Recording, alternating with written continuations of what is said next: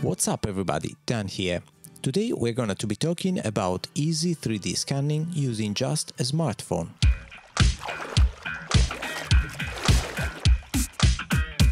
Mobile 3D scanning is not just a way to capture and share memories in 3D, but it can also be used to create simple 3D assets or backgrounds. I've been using a free solution called Displayland from Ubiquity6 combined with Blender.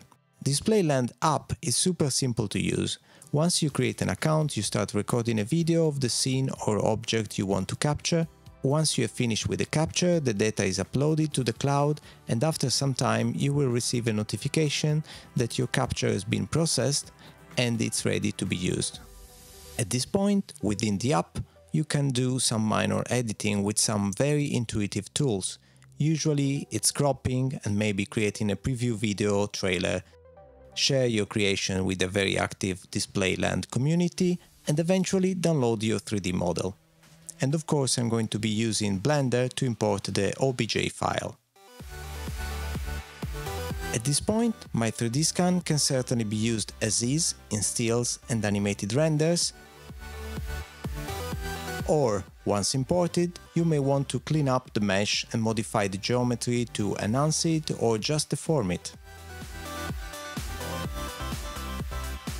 Using the 3D scan as a blueprint, you can build a simplified clean model or a low poly model, an enhanced version starting from the quick prototype imported, which will give you realistic proportions and scale very very fast.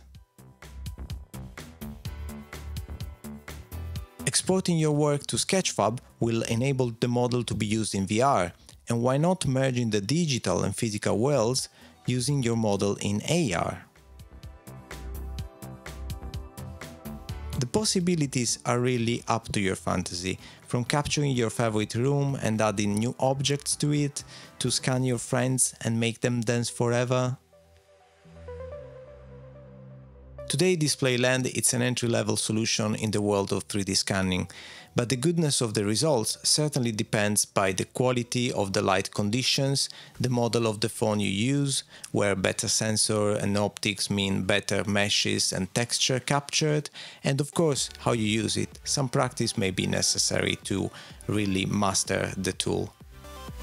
The app, even if it's still in development, it's very sleek, it's solid and reliable, with frequent updates on the store.